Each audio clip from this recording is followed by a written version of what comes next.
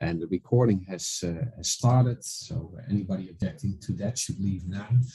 Um, a warm welcome uh, on behalf of uh, Lars and myself. Um, my name is Frans Melissen, and together with Lars, uh, we are the holders of the chair in Management Education for Sustainability, uh, a joint initiative of Antwerp Management School and Breda University of Applied Sciences. Uh, great to see uh, that you are joining us today for this uh, third and uh, final session of the uh, PRME Education Academy seminar series of this year. Um, and as you know, one of the main objectives uh, of this series is to get inspired by cutting edge and thought provoking scholarly and practitioner insights on responsible management education. And we aim to offer these from a variety of perspectives. And for this, we have already, and today as well, give the floor to uh, several renowned scholars and fellow academics who will share their ideas and results of their work. And today this will be on the topic of alternatives. Um, after arts and um, activism in the first two seminars, today is the, the topic is alternatives. Um, alternatives for management education and the institution that we call a business school. Um, now, since we expect this final session, given its topic, to be uh, particularly provocative, uh, you are warmly invited to participate in the discussion in, uh, in the final part of the session after Martin has given his introduction. Um, so please don't hesitate to ask questions uh, to the speaker or to the uh, referent, uh, which will be introduced by Lars in, in a minute. and challenge them by taking a provocative stance yourself towards their ideas and contentions.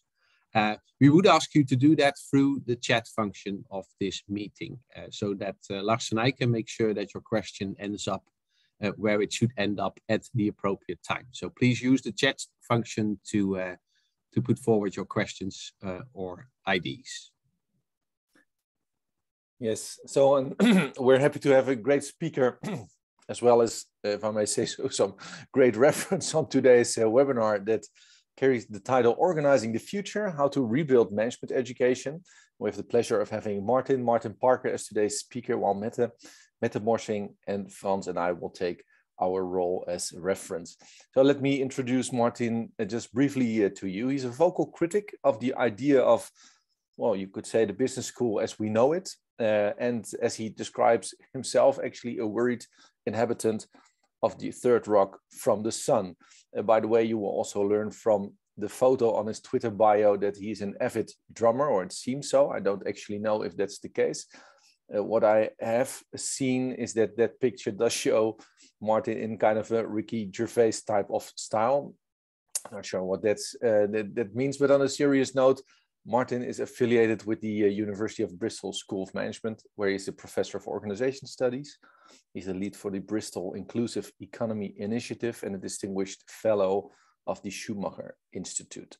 Uh, from his academic bio, we read that uh, his research and writing widens the scope of business and management studies, whether in terms of particular sorts of organizations, the worker, co-ops, circus, even the zoo, or ways of representing organizing in art, cartoons, and films, and that he's interested in the philosophy of the concept of the organization. So his recent books were Life After COVID-19, uh, Anarchism, Organization and Management, while the one that you may perhaps know best is the book titled uh, Shut Down the Business School. Uh, we're honored to have you on today's uh, final session in the series, uh, Martin. Today's referent is Mette Morsing, as I said, which I suppose does not need any introduction for this audience. Mette, thanks a lot for uh, being with us for this uh, final seminar in the series, also because I know you've traveled a lot recently and that your agenda is nothing short of uh, a, uh, a nightmare.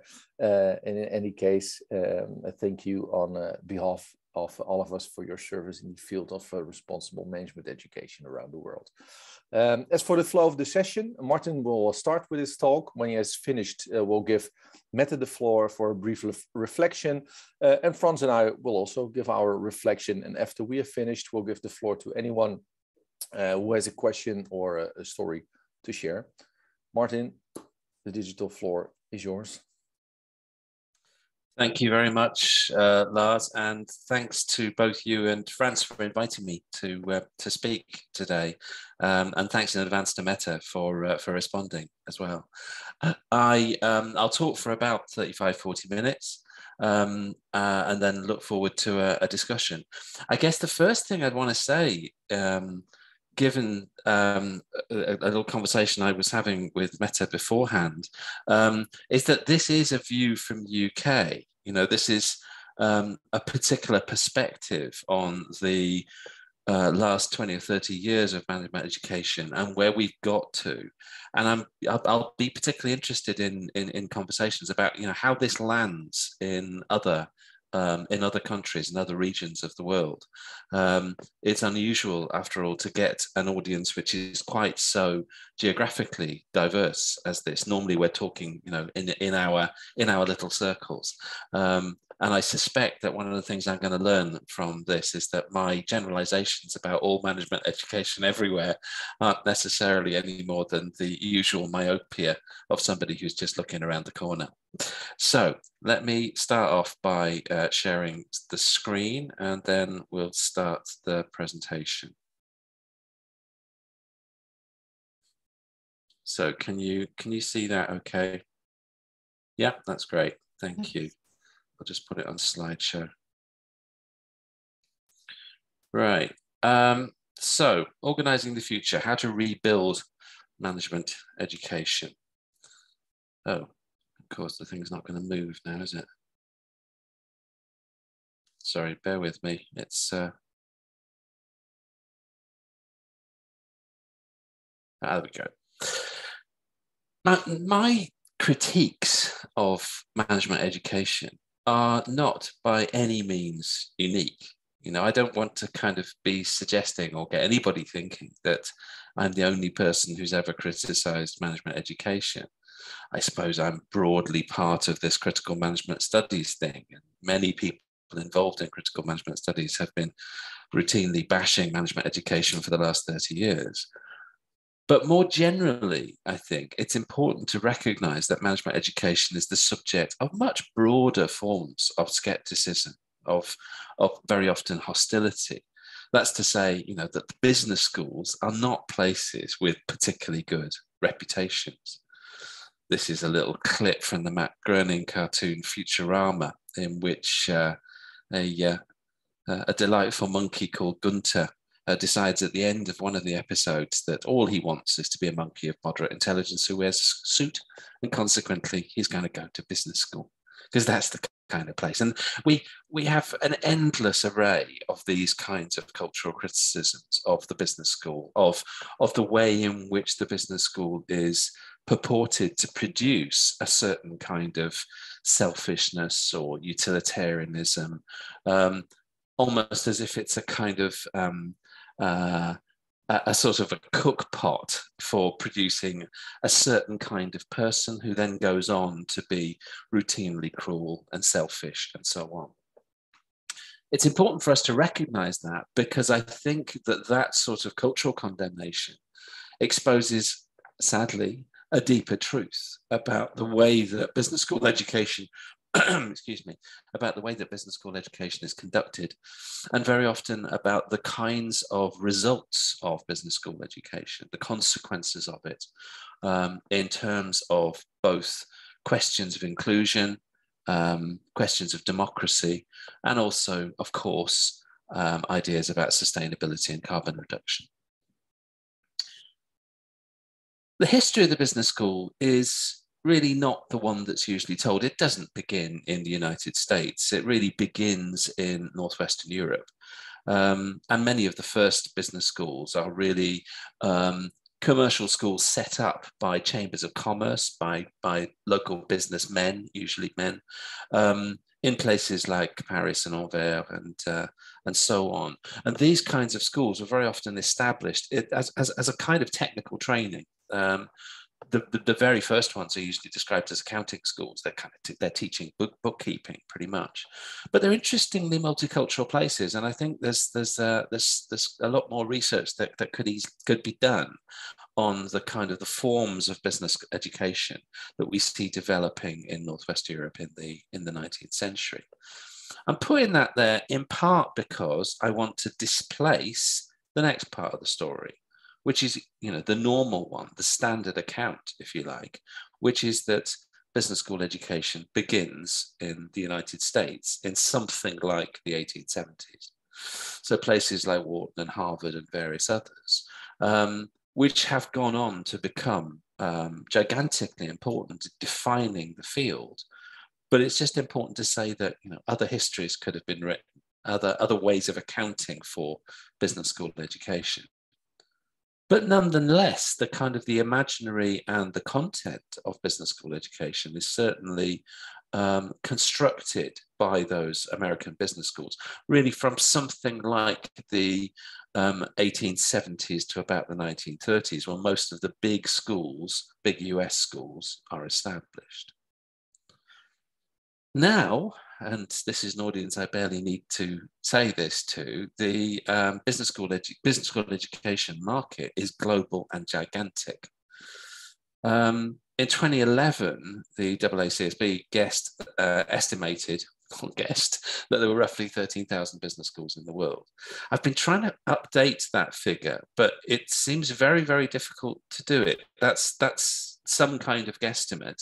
I'd be really interested in anybody's got any more reliable figures, because of course, as soon as we go to any of the validation um, agencies, AMBA, uh, WACSB and so on, then really you're only scratching the, the tip of the iceberg in terms of the numbers of business schools that exist according to AACSB um, in 2011, there was something like 3,000 private schools of business in India alone. Um, and business schools are pretty profitable businesses. Um, in uh, uh, I, I, checked this figure yesterday. London Business School, which is currently advertising a tuition fee of uh, ninety-seven and a half thousand pounds for its MBA. That's an eighteen-month course. That's of course uh, doesn't doesn't account for eating and uh, and housing in London, which is a pretty expensive place to live.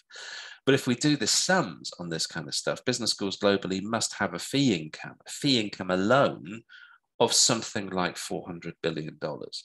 Okay, so we're talking about a very big global industry, one which is concentrated certainly in certain parts of the uh, certain parts of the globe, in North America and Northwestern Europe, but by no means isolated to there. This is a, uh, a big industry. So the School of Business then is a huge, if you like, both cultural and economic phenomena. It's a, um, a form of global education, which I don't think we've really seen before. Um, and even though it's not formally standardized in any way, it certainly has a particular kind of grammar and series of accepted divisions and stories that are told about it. So, you know, we could argue, I'm going to push this one hard, but we could argue this is the first example of, if you like, a global form of education. So, what do business schools do? This is a bit superfluous for this audience. This is London Business School itself in its uh, extremely lovely surroundings overlooking Regent's Park in, in West London. This is London Business School's strapline, and um, it's kind of important to note that the appeal of most business schools, when you look at the, uh, uh, the, the kind of the quick summaries of what they do, is primarily an appeal to the individual it's an appeal to somebody who's going to invest a substantial amount of money in themselves. And the, the reassurance being given is that this will be a form of investment which pays back uh, in terms of salary or expertise or career bumps or whatever it might be. Okay, so so you know the pitch, if you like, is not a collective one. It's nothing to do with liberal ideas about education or whatever else. It's primarily about the idea that you will benefit from investing in yourself. And what do B schools actually teach? This is the uh, this is the slide that annoys most people most of the time. So my apologies for this, but this is my kind of one slide summary of 95% uh, of business schools 95% of the time. So, first of all, they tend to teach about corporations. The corporation is the kind of the default big organization that is assumed to be most relevant for case studies, for economic analysis, for understanding international management, for thinking about HR, etc., etc. It's the kind of it's the, it's the it's simply the kind of the the er organization, if you like. And the corporation, of course, is a particular organizational form that focuses on shareholder value. So by focusing on the corporation as the most important organization, so is shareholder value embedded as the most important form of value. Other forms of value are available, as we're all aware, but shareholder value is given a particular kind of primacy because of the focus on the corporation. Secondly, growth is assumed to be a good thing this is you know is essentially the outcome of um, a certain set of assumptions about economics and economic systems. But the assumption seems to be that growth um, whether of numbers of people or number of territories served or number of products made or whatever it might be is assumed to be the measure of success. Obviously this tessellates quite nicely with the previous point uh, because corporations uh, or have, if you like, a kind of economic growth imperative built into them, partly because that satisfies the demands of shareholder value. But more than that, growth is assumed to be the kind of necessary criteria of success in organizational and wider economic systems. And then finally, I would argue that the kind of the third principle, if you like, of management education is, of course, that management is a necessary um, practice and cadre of individuals uh, for any organization. That's effectively to say that forms of hierarchy are inevitable in organizations, that any organization has to have this is the, the, you know the, the sort of the implicit argument if you like that any organization has to have a cadre of people usually or almost always better paid or compensated, as the euphemism goes, um, in order that they can conduct decision making, that they can see into the future using the tools of strategy, that they can understand the um, arcane and difficult concepts about management and financial accounting and so on. So that so that managers are embedded as a particular category of people um, within any organization that's necessary in order for us to organize. Now, in this talk, I'm really going to be challenging each one of those. I'm going to be suggesting that corporations are by no means the only form of organizing, that growth is increasingly dangerous and pathological, um, and that there are plenty of ways in which we can think about organizing which do not embed uh, a particular cadre of organizers and assume that everybody else can't organize themselves.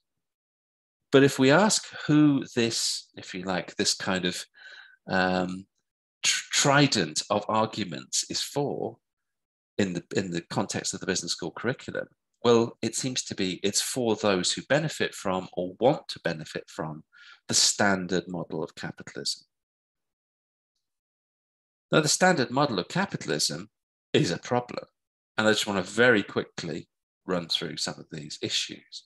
So, capitalism generates staggering forms of inequality, forms of inequality that currently are producing um, a category of individuals who are probably the wealthiest individuals the planet has ever known, richer even than the pharaohs comparatively. Capitalism generates gigantic forms, uh, interlocking networks of um, hegemonic, hegemonic, sorry, hegemonic corporations. Uh, this is uh, just a, a, sort of a map of a set of relations in the food sector, for example. Capitalism generates externalities routinely. Capitalism, capitalist economics assumes some kind of infinite space into which the, the externalities of the economy can be thrown. And finally, as we all know, capitalism is generating climate change. It's really important to understand that if we want to address climate change, then we also need to address the ways in which global capitalist markets operate.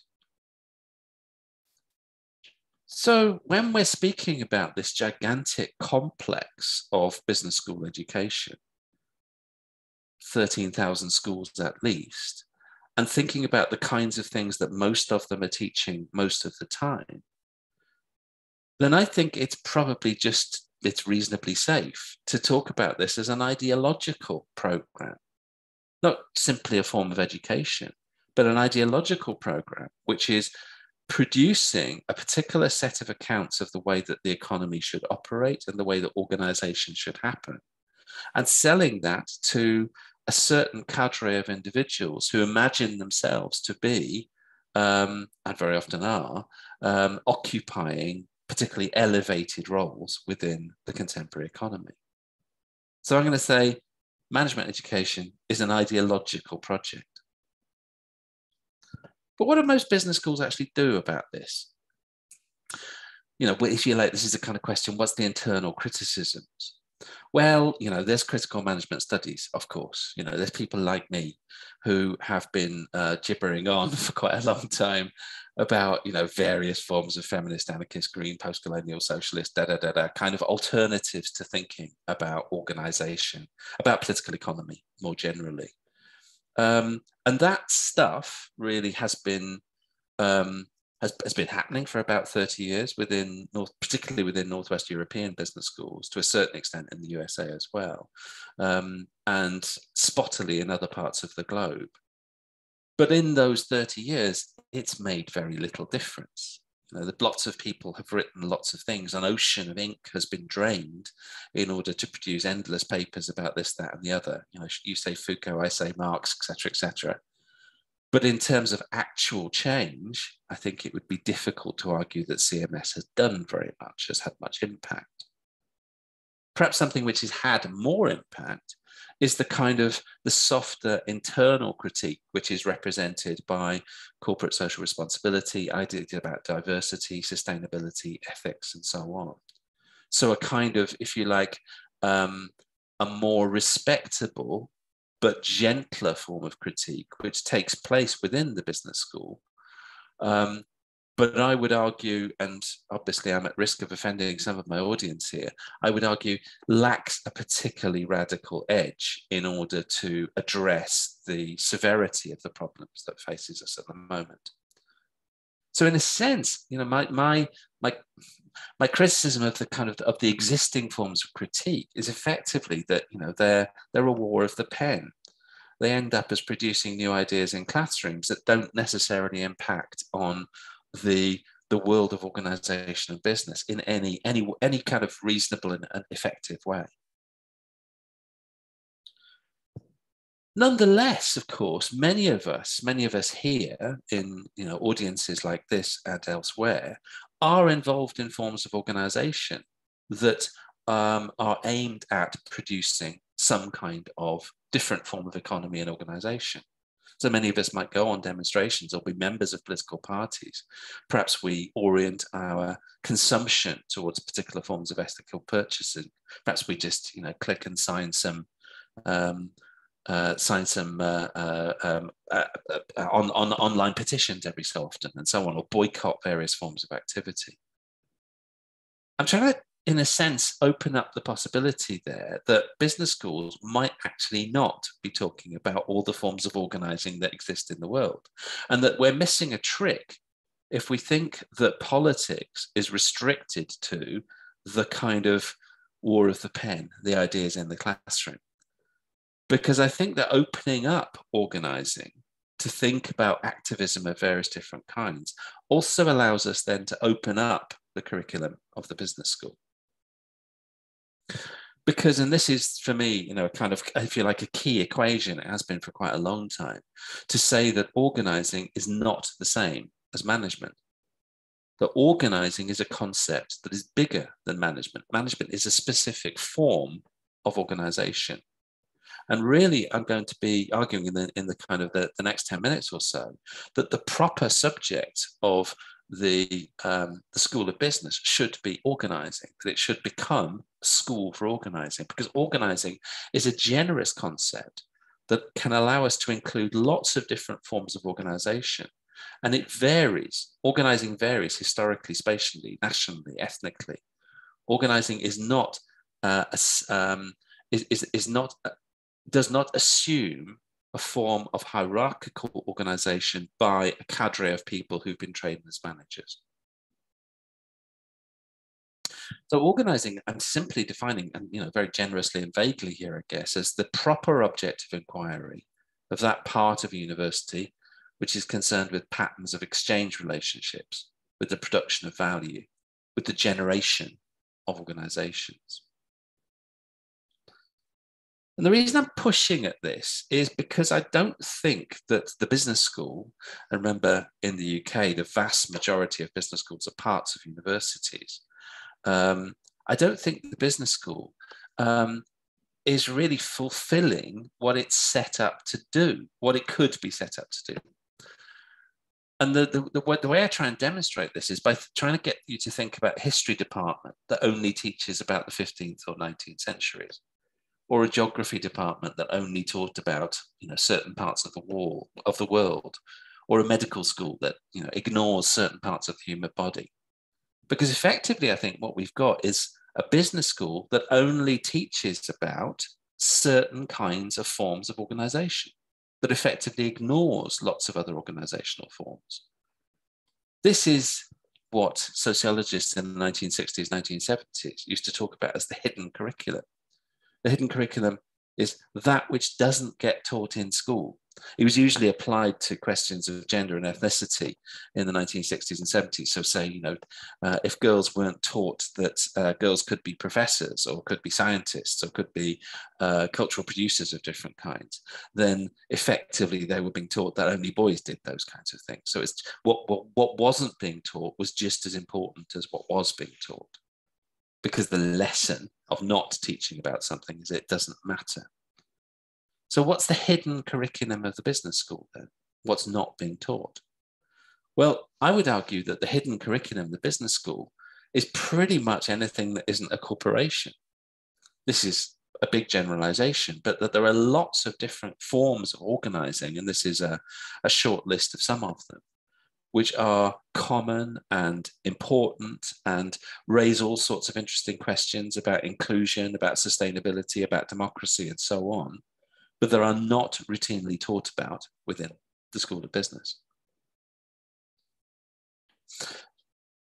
When I um, pull back from some of these questions, I, I sometimes think about the sort of the way in which we might approach diversity this is um, the introduction from a book that my mother-in-law gave me, uh, the uh, Royal, Royal Horticultural Society's Gardener's Encyclopedia, which is a big, beautiful book of plants and flowers, um, which is a kind of, you know, an, an, an encyclopedic uh, attempt to list all the different sorts of plants and flowers. So there are, you know, tall trees in there, and there are plants that live in salty environments, and there are plants that move, and plants that live underwater, and plants that live in very cold places, and so on. Are big plants and small plants, and plants that photosynthesize, and plants that don't, etc., etc. An enormous diversity of plants.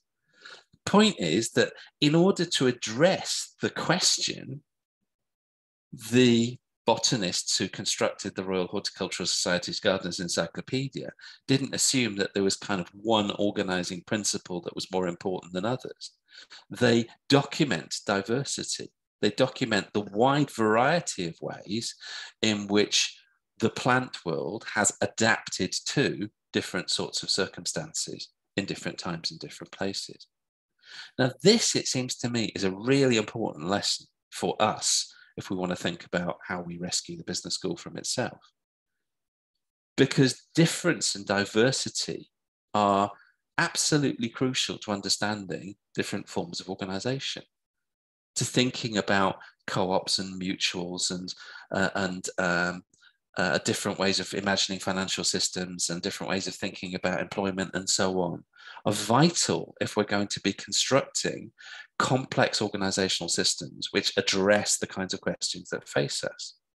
My favorite word in this list is experimentalism, um, which comes from really from the writing of Roberto Unger, the um, uh, Brazilian social theorist. Um, and Unger really likes this sort of idea that, that any form of uh, social theory and politics should really be constructing experimental alternatives, thinking about ways in which we could imagine otherwise, but not imagining that there would be one solution to any problem, but really playing with different sorts of uh, conceptions of politics and economy in order to produce different kinds of results.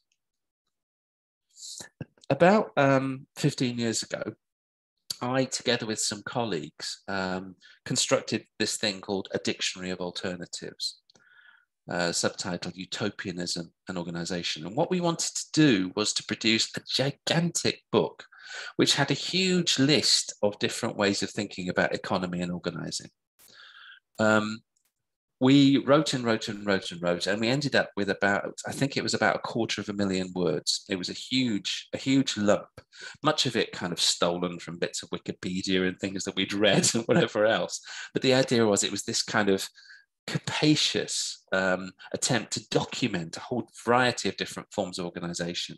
And you could read about the mafia, which would then pass you on to ways in which terrorist groups organize, which would throw you to some utopian community in, you know, I don't know, in Belgium in the 13th century or whatever it might be. It was a kind of, it was intended to be a rich, a rich tapestry so we sent this to um, Zed Books, who were publishing it, and they sent it back and said, I'm sorry, we didn't agree to publish quarter of a million words. You're going to have to cut half of the words. And so we cut the book down to 120 words, 120 words, 120,000 words. And this is the uh, contents page from the 120,000 word book. And as you can see, it's very dense. It's lost loads of stuff. You know, it was twice this size before. But one of these entries, and uh, I can't really point to it because I haven't got my pointer enabled, but if you look um, about two thirds the way down on the right hand side, one of those entries is management. In a sense, that's all that matters about the book, in a way. It's, you know, it's a kind of, it's an artwork as book because all that you need to know is that other alternatives are available. And indeed, that there are plenty of ways of thinking about organizing which are not reliant on managerial ideas of hierarchy of a particular cadre of individuals with a certain kind of expertise, etc., etc.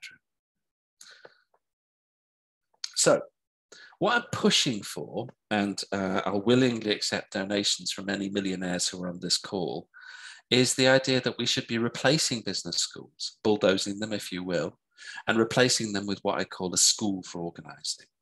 this would be a school that teaches about the possibility of a low carbon economy, about localized supply chains, about collective and democratic forms of ownership and control, and teaches about an economy in which small is beautiful, growth isn't necessary, growth isn't assumed to be the only way in which organizations are successful and responsibility to people and planet is the means and ends of business. In other words, that externality is seen to be a problem that we need to overcome.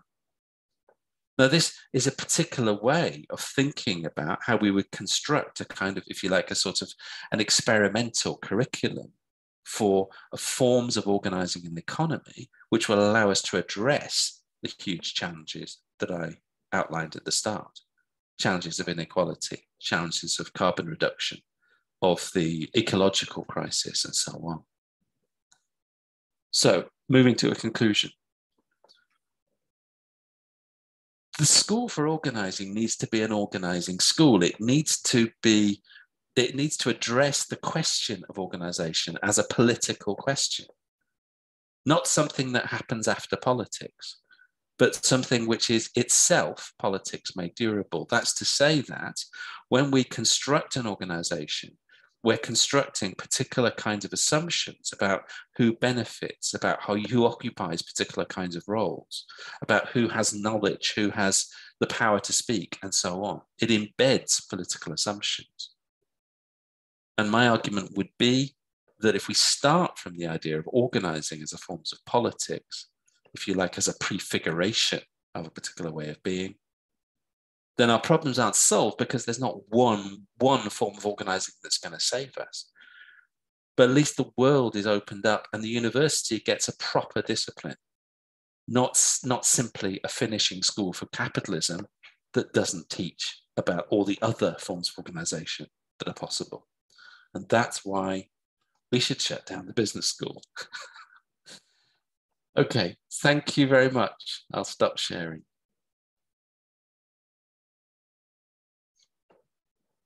Okay. Yes, Lars, Frans, uh, over to you. Or over to me. I think it was over to you, Mette. Yes, thank you. okay, I, I'm I'm ready. No, thank you so much, Martin, for this uh, excellent analysis of what's wrong with the, with the business school uh, that we all engage in, and uh, and for suggesting, you know, a school for organizing. Uh, I think I really really enjoyed listening to you, and and also you starting out with sort of you know talking about how we are challenged as business schools, how we do not enjoy a good reputation how uh, we are critiqued uh, and how we also are very good at critiquing ourselves, by the way. And in contrast, if I may say, to, to you know, um, our friends, our colleagues in the engineering, in the technical sciences, our friends, our colleagues in the natural sciences are much less exposed to the kind of critique that we as, as management scholars and as business schools uh, are, are. Uh, but that's of course another uh, discussion. I uh, also uh, enjoyed your, you know, your uh, analysis of education uh, or ideology, and actually the education we are providing to our students in business schools is an ideology, even though we like to think of that it's not. even though if we ask our colleagues in many disciplines, across many disciplines, they uh, they may probably disagree with you. So I really enjoy listening to you and really think that we need this uh, what we may call radical critique of the journey we have been on, where we come from, and also where we're going to. I would then say now you know that I'm wearing the the hat here in my new capacity over the past two years as head of PRME Principles for Responsible Management Education, and I'm happy to see you know a lot of familiar faces here in in this uh, conversation today as well. I would say maybe we are martin and i would love to hear your your comments on that. Maybe we are what you say a gentler gentler form of critique. Maybe that's what we are providing here uh, in in the PRME community. Because i hear not in your your words maybe uh, directly, but I do hear a lot of concerns about the kind of education we deliver, the kind of uh, education that is needed and the gap between these two that uh, even businesses are you know calling for. Uh, even them saying that they uh, find it difficulty when i'm sort of traveling the world on my screen or in, in person i hear a lot of the businesses and the un global compact you know where we have 15000 businesses signed up. And when I talk to some of them, they also say, well, we, we can't recruit the talent that we need because these, these many of the students we, get, they are sort of what uh, Professor Khurana would call mere craftsmen or what you refer to as, you know, sort of technically, technically trained um, students. And what is needed is maybe what Humboldt uh, was talking about, that Ausbildung, not just the Bildung, but the Ausbildung, which is to with the ideal of creating world citizens um, who are sort of more critically engaging. And I, am sort of listening to you, I was sort of thinking that maybe what we're teaching is one way of success, one way of what success for a business school means, what one way for of success for a business leader. And there is one only one way, and that is the growth and the shareholder um, primacy.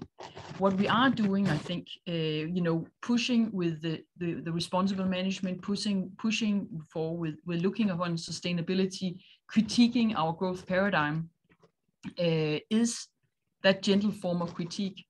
And I think that we need the radical critique, but we also do need that gentle form of critique that we are providing in PRME, because we do need schools who are not even embarked on this journey to start, you know, and think maybe they could rethink the curriculum. Maybe they could rethink the educational practices brought into the classroom. And then those who are already uh, doing a lot out there and, and have been in the in the self-critique for many years, um, how they also uh, can, you know, set an, a tone. Uh, but then again, we are embedded in a system, and I would love to hear your reflections on that. We are embedded in a system where we are also as business schools um, striving to become number one on the rankings, on the, uh, for example, on the Financial Times rankings. And here to be to be number one, you need to create a me first attitude in your students and in your school because 40% of that ranking, more or less, it depends on the speed with which your alumni, the day that they graduate and two, three years from then, the speed and increase of their salaries. You know, the, the speedier, the higher the increase of the salary, the higher we get on the rankings list. So we need to, uh, you know, we need to focus on ourselves and how we're structured, but we cannot do that without critiquing and having that ecosystem with us. So now, of course, I'm going to do a little promo here for what we're doing in PRME because we are working with that ecosystem. We are, you know, engaging with Financial Times and the rankings. We are engaging with AACSB and the other EFMD, you know, the accreditation bodies uh, around us, to have them nudge business schools and business school deans uh, a little bit. So I think that is that is another huge dimension of the critique that I think um, really needs some uh, analysis and needs some uh, attention. and of course, the last thing I want to say here uh, to you, and I would love to hear reflections on, is what I hear a lot.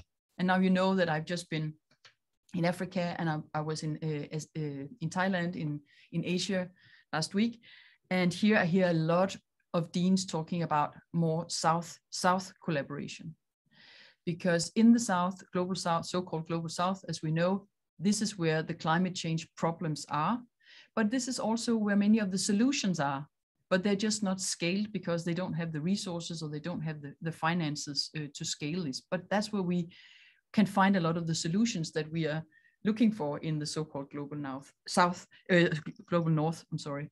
So I think that south analysis, and I would really like to see your analysis extended to a south business school analysis and what that reality uh, in those business schools would look like. Although I know, of course, many of them very inspired from a north uh, perspective.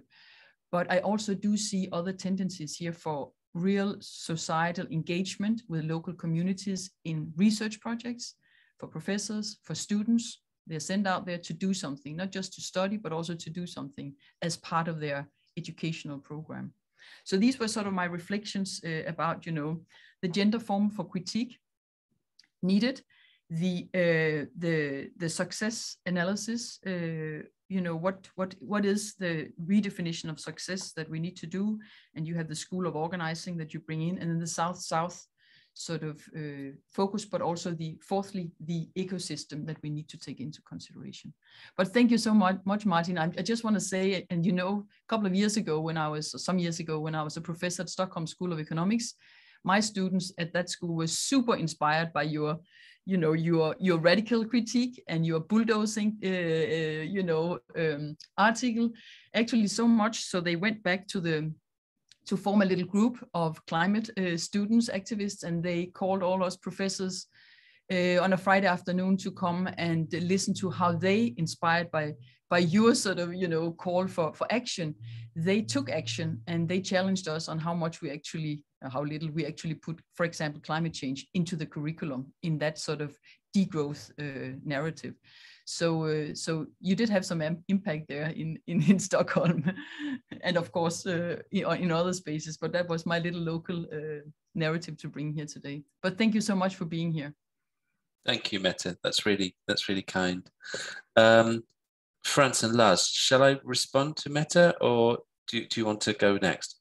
No, go ahead, Martin, and then uh, we'll That's great. Yeah, uh, uh, thanks. Thanks ever so much for the um, Stockholm um, example. That's that's that's really nice to hear.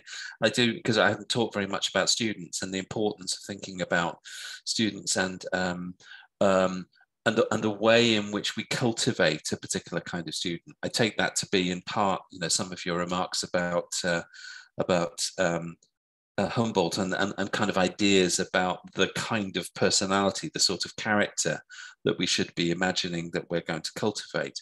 Much of the popular cultural critique of the business school is precisely about the character of the business school graduate, isn't it? About this idea that it's it's teaching selfishness, if you like, that it's uh, that it's that the business schools are crucible for producing a particularly unpleasant kind of character who goes on to have particularly unpleasant kind of consequences for the world.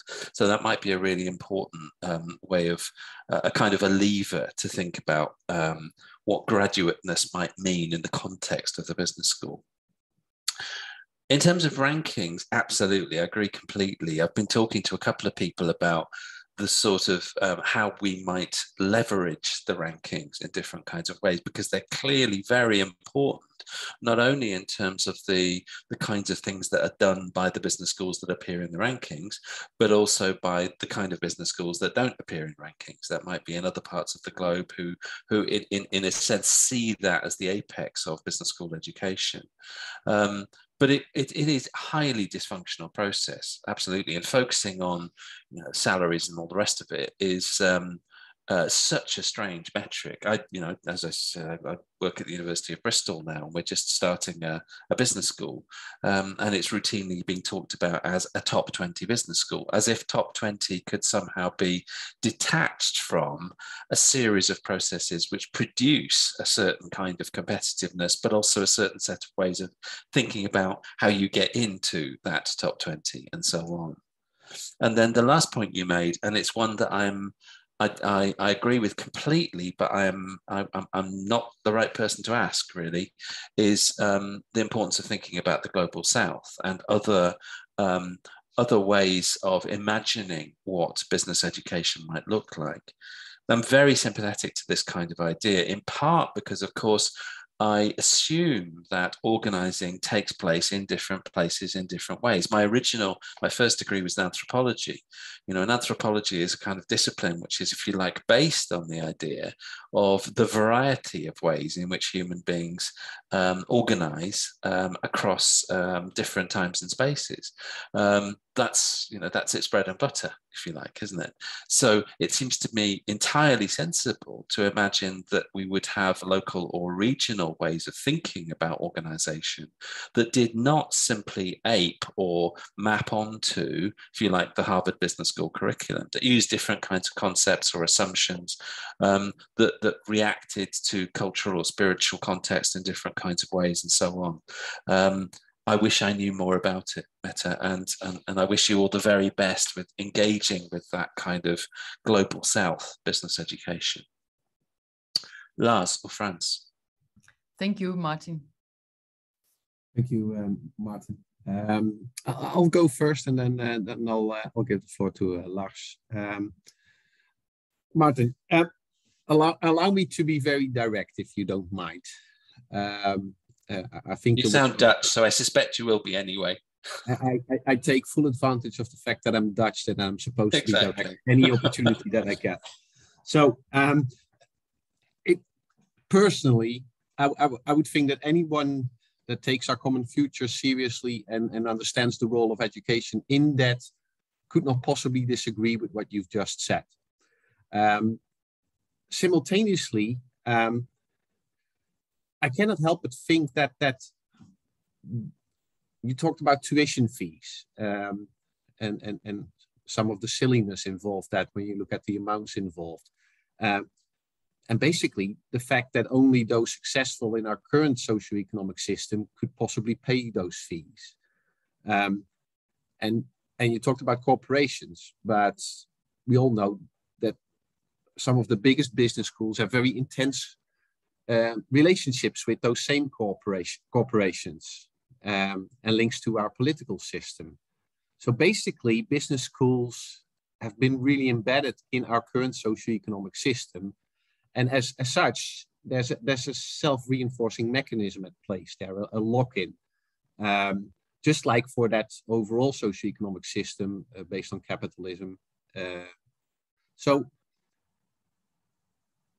you would you would assume that like that socioeconomic system, business schools are not going to change or disappear or be replaced by themselves. Uh, certainly not as long as that socioeconomic system is in place.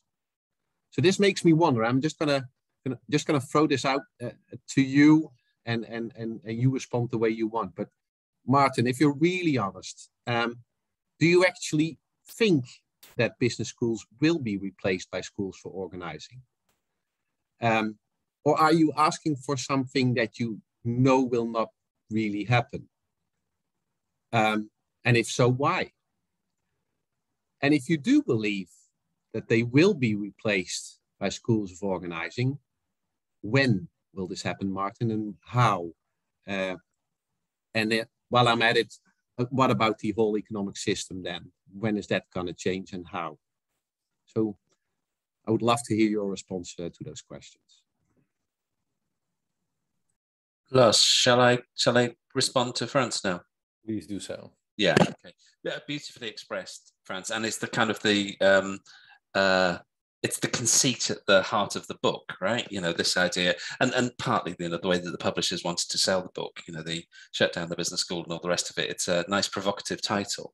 Um, nonetheless, there is there are there are there are two two two key things to add. I think one is that um, because I am um, skeptical about you know the kind of the gentle critique as as, as Mette Mette mentioned it I, I wanted to make sure that i was being um, I was being clear that radical reform was necessary. That it's not enough just to add a CSR module or to talk about you know having a diverse board or something along those lines.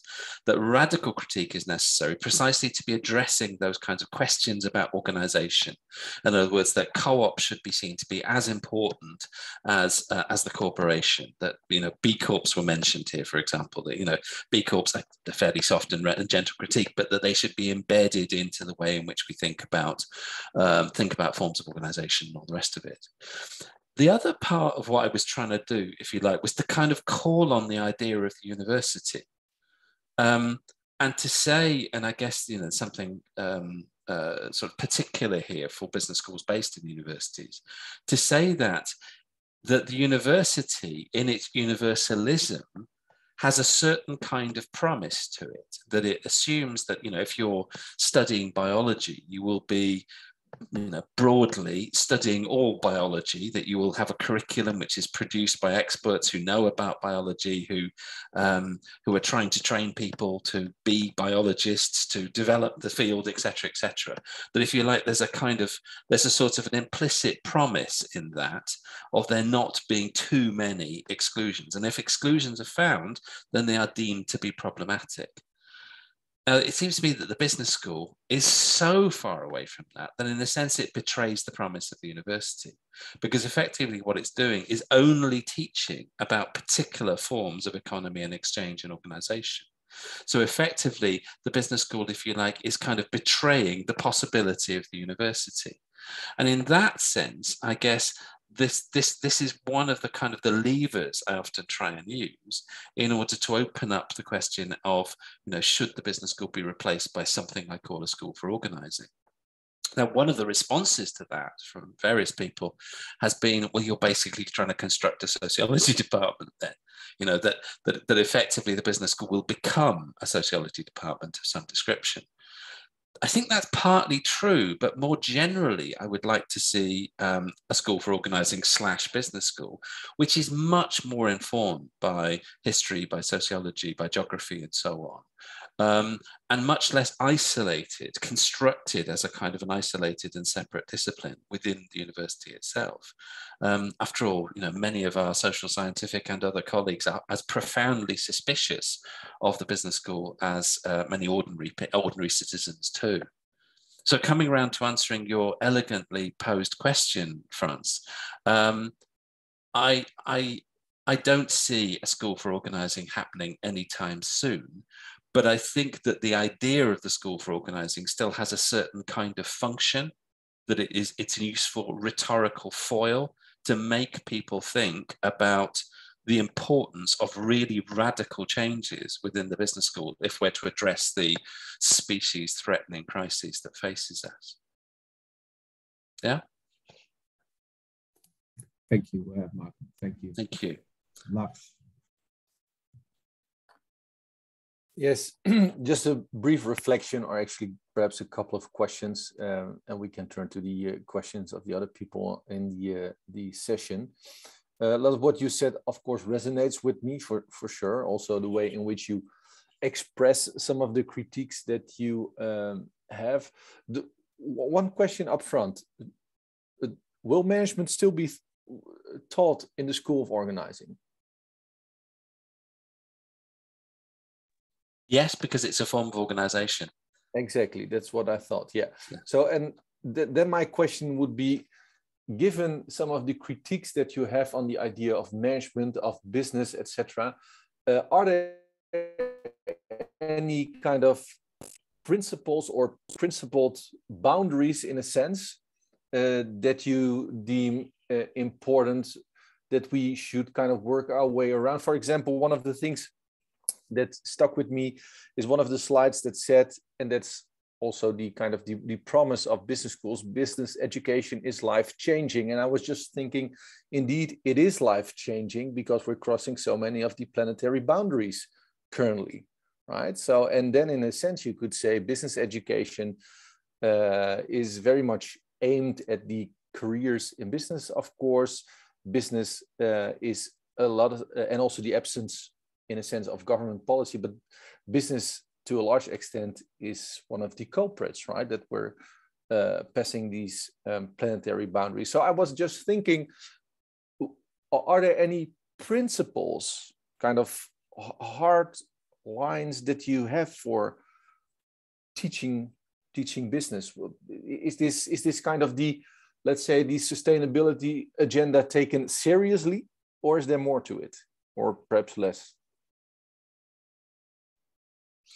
So I'm not quite sure I've got the whole question here, but let me let me let me try and respond, Lars, and then you can you can tell me if I've got the question right or or wrong. I, I suppose that the best way to illustrate my perspective on this kind of stuff is to think to that that dictionary, that you know huge quarter of million word dictionary, and in a sense, if if we take organizing seriously organizing an exchange as the kind of two key concepts in this. So basically how do we put the world together? Yeah and uh, uh, and, and and exchange things in order to give ourselves lives which sit within uh, sit within the donut if you like.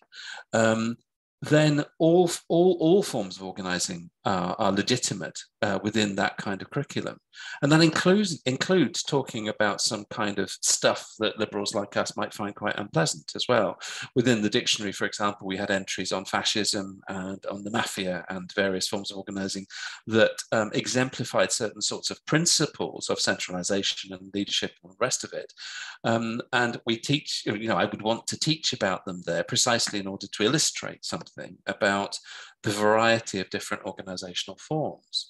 Now, I don't in doing that necessarily you know endorse those organizational forms but i think it's really important to lay out that if you're going to take questions of diversity experimentalism variability and all the rest of it seriously then you need to teach about a whole variety of different alternatives different ways of thinking about how human beings and things can come together to do stuff there are then a series of, if you like, moral slash ethical questions about what kind of world we as humans want to inhabit. And there's also a series of, if you like, environmental ecological questions about what the externalities of any business form might be. So it's kind of important that we recognize the variability of these issues, but also that simply playing, placing out, if you like, a kind of a um, um, a platter of alternatives doesn't solve the question in itself. We've still got moral or political issues that we need to address. Exactly. Does that?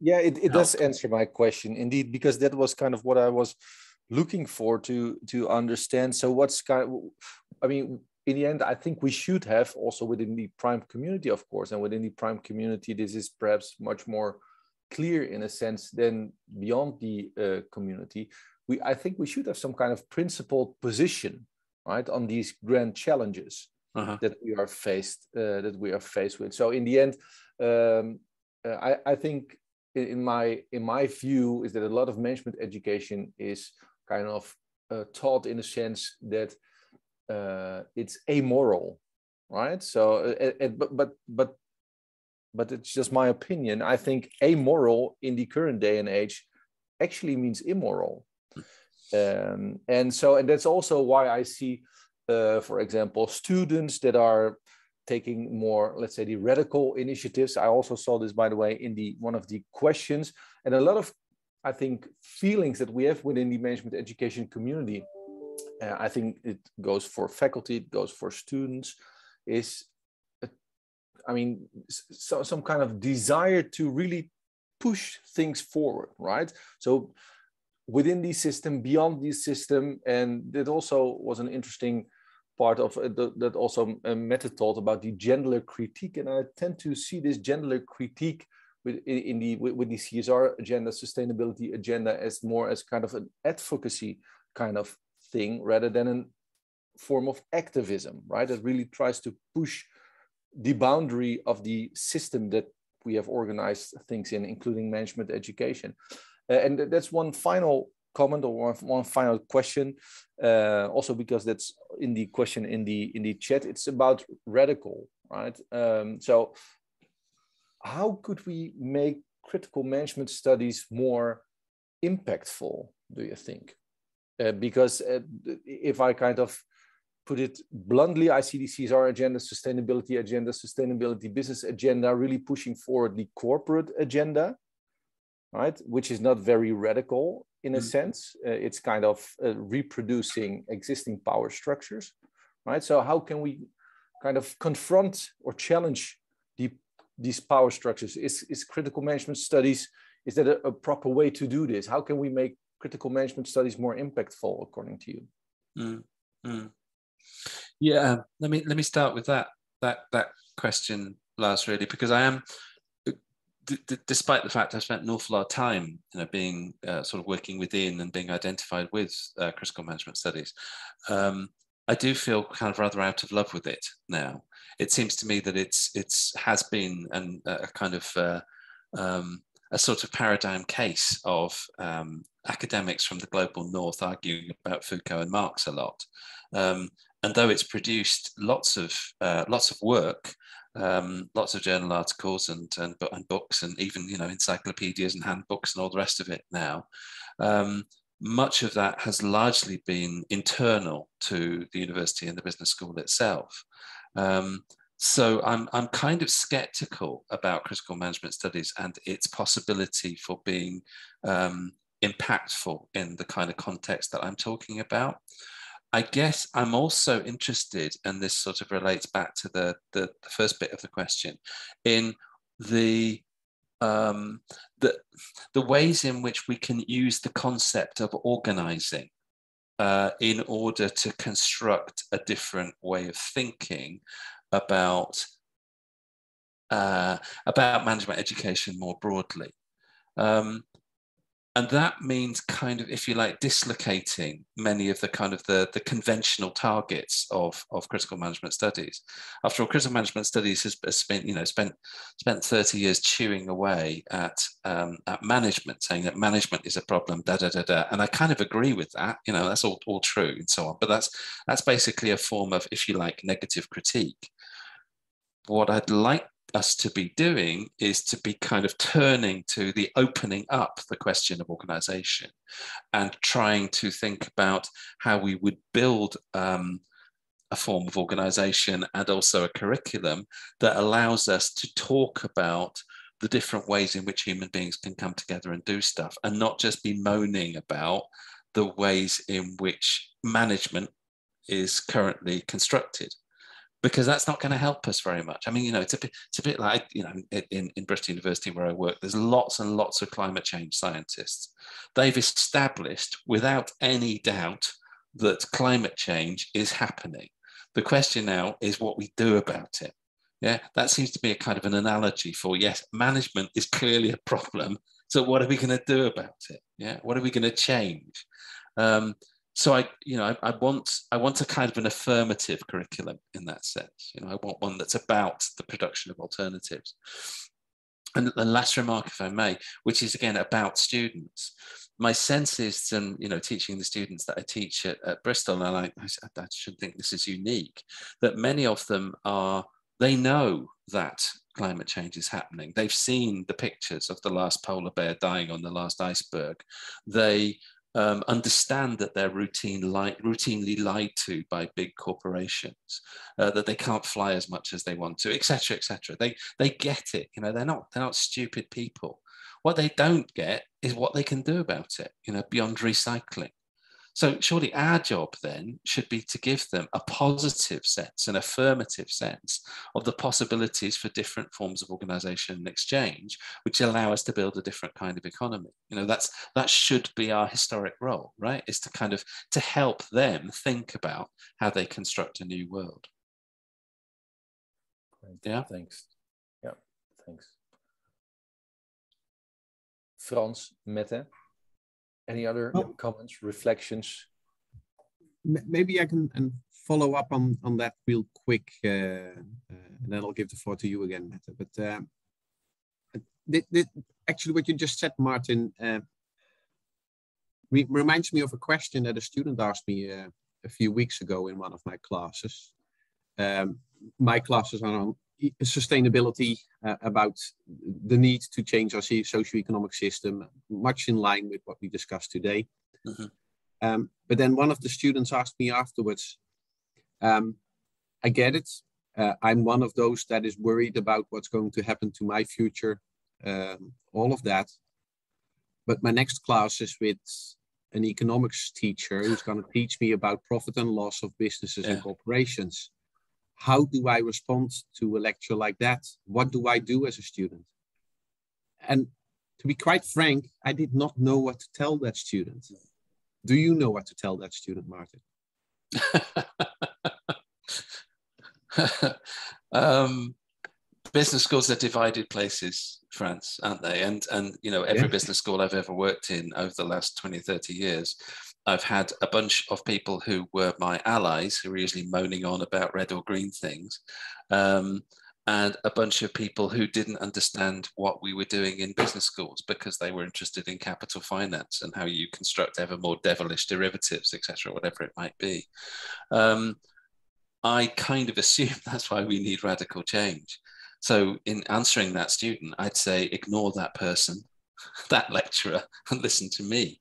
Yeah, because this is politics, right? You know, you can you can you, you, can witter on about um, the importance of a diverse range of opinions, but if someone's teaching about uh, financial instruments that have brought us to the verge of financial collapse, then you know surely there is a problem, right? So. Um, I assume that we're going to have to do. There, there will be quite a lot of struggle over the uh, the reconstitution of the business school as we decide whether or not um, we're going to be part of the solution or part of the problem. Like you know, for example, and this is a, a very small example. You know, I th- I think that it should be mandatory. Um, for every single module to be teaching about climate change now you know i don't i don't i don't i simply don't think there's any any principled reason why you could avoid that. And that would mean that lots of the ways in which we think about say capital markets and investment and all the rest of it would necessarily have to change too you know but i don't think people should be given a choice in this stuff. You know in that sense i would be a stalinist dean of my school for organizing. Just say you know you address climate change or you're not working here. Yeah you can, you can go and work at warwick if you want or somewhere but not here. Um, I, I, so yes, I'm afraid I'd, I'd be taking quite a hard line on that front. I think.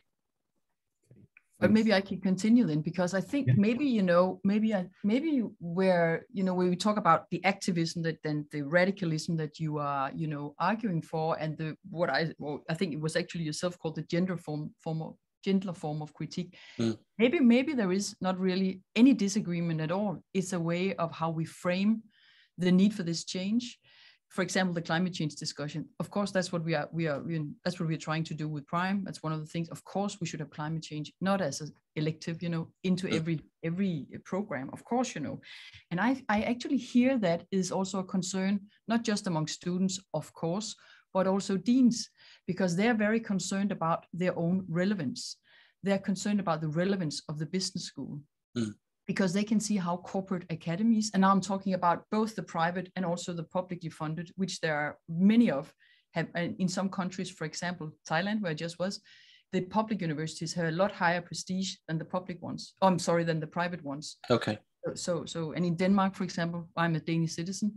Mm. Uh, you're not allowed to have private universities at all. So there are, you know, varieties, of course, around the world with, with that. But if we look upon private and publicly funded uh, universities, you, you'll hear the deans talking about their relevance, talking about their societal impact and how they are now nudged by the accreditation firms, but also by the governments, by the students, by their, you know, local communities to argue for what is that societal uh, impact that you're actually contributing to and what is your relevance because if you're not relevant it is and that's mostly for the private schools of course then it's much cheaper to go to the google academy and pay the google academy for six months uh, you know mm. craftsmanship on you know how do i become a financier or how do i become a technician or you know something like that than taking the four year undergraduate program at a university so i think that there is also a concern about business school relevance that is driving in the same direction that you are arguing for here, which is the good news, I think.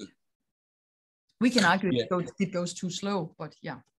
Yeah, I guess I mean that, that was what I was going to say is that you know that that that that sounds really helpful, but it sounds like a slow slow process, doesn't it? And clearly we need to do this stuff stuff this, do this stuff very quickly.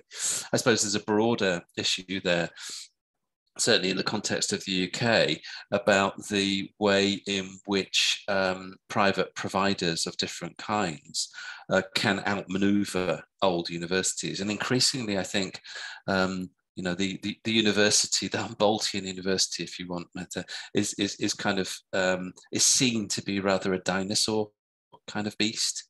Um, in our super speed digital world and so on. So, so obviously we need to be thinking about how we sell inverted commas our forms of education to to young people uh, well to all people but but not simply assuming that the um, uh, the attractiveness of the idea of the university will be as obvious to our customers as it might be to us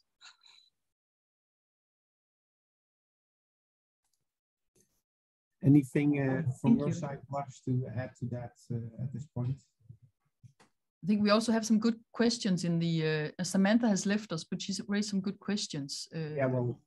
There's also Mary, Mary Lawson. Yeah, she had a she had a comment more than a question indeed. Um, but uh, Samantha's question um, was Maybe was very much about uh, uh, whether we are we are radical enough uh, in, in, what we're doing. Um, and, and the whole idea of nudging versus more radical uh, ways to cultivate the need for change.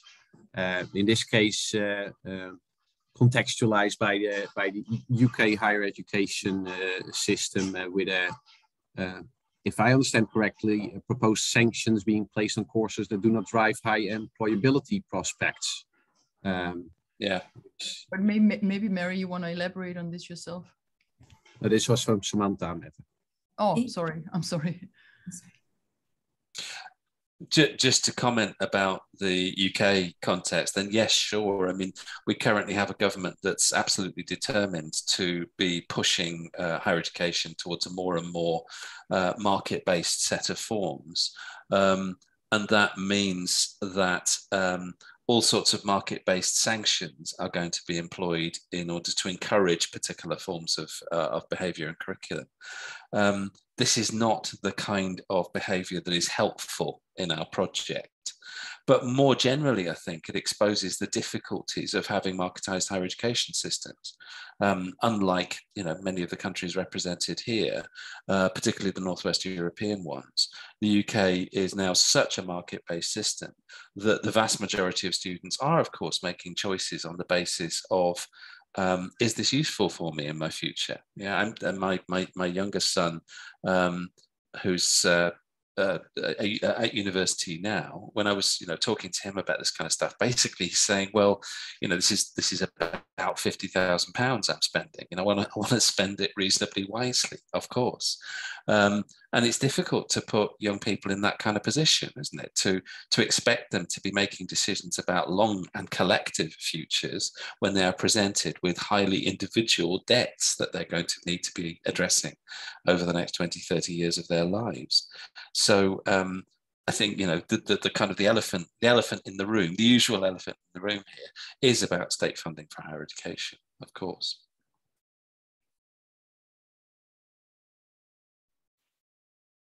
Mary, would you like to uh, add to the uh, discussion by means of your comment? Um, sure. And boy, so many things could be said. Because um, in the United States, the the issue of you know what am I getting for my money when you go to college and how long will it take me yeah. to pay it off has been long, you know, we've been long suffering. Um, yeah. But just to go back to the comment that I made in the question I asked, I mean, what about the Business Roundtable report and, and the B Corp movement? Um, do you think that these are just too little too late or they're, they're not radical enough or mm. um, what do you think of efforts to infuse this in existing institutions? Because I think general, I mean, we're hoping generationally this is going to happen from the groundwater because younger people are looking at the landscape. They know what the future will hold if they don't have, if we don't have any kind of stability in the climate or in the social infrastructure. Um, you know, recent yeah. events in the U.S. notwithstanding. What do you think about that? Yeah, yeah, yeah. Thanks, Mary. I, I, I because because of my um, my role at the university, I do quite a lot of work with um, local businesses of different kinds, and we've put on a couple of workshops with uh, B Corps and got involved with that kind of stuff. Though there are plenty of criticisms one might make of B Corps, I'm not going to document them here. I, I, kind of, you know, I am I am interested in those kinds of ideas, uh, but I partly see them as a kind of, if you like, a gateway drug to more radical organisational forms. Yeah, so you know the the the way that the the B Corp um, uh, process is set up is, I think, really interesting and asking all the right questions. Um, it doesn't necessarily go far enough in terms of thinking about what those solutions might be, to my mind. But nonetheless, it gets um, employers and hopefully employees as well thinking about those things as part of their business practice. So, no, I'm very positive about that. And I think we should be teaching and engaging with those kinds of things. Indeed, you know, why not have a B Corp business school of some description? Um, that would be a really useful kind of marketing pitch. That being said, it's not radical enough. You know, it needs to go further, but it's a start, and um, and one in that sense I quite admire. Yeah. Yeah. Thanks. I, I guess more generally, sorry, more generally, I, I think my my sense of the politics of this is that we need to be finding as many allies as we can, holding hands with as many people as possible and being kind of narrowly sectarian saying that you know only co-ops count or something is not going to work yeah that we need to put our arms around all our friends and encouraging to be, them to be moving quickly in these particular directions.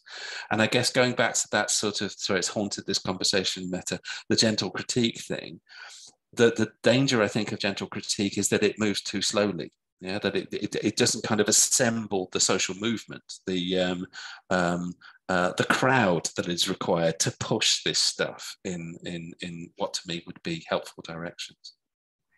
Yeah? Yeah thank you. I, I couldn't agree more actually about that every Thanks, every solution needs to be tried yeah that's yes i think so yeah. But that kind of fits with my general approach doesn't it? I mean i think you know if i'm going to witter on about diversity and variety and experimentalism and all the rest of it then you know i, I can't simply construct a narrow sectarian party form and exclude anybody who doesn't agree with me. It's not, it's not really going to work. Not recommended. Thank you uh, martin and uh, I think with, with, with that idea, actually putting our arms around our friends and push for change together, I think that uh, that seems like a, a perfect moment uh, to to end today's uh, session. Uh, and let's remember that that sentence while we uh, while we move on.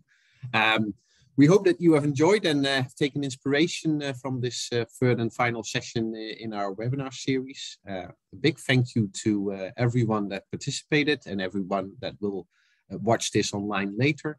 Uh, and a special thanks to, to Martin and uh, Mette for your uh, insights and uh, reflection. Uh, thank you so much.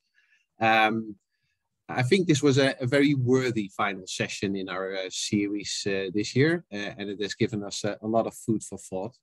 Um, with that, that also means that we've now concluded our second seminar series, and we hope that you have all enjoyed it as much as we have.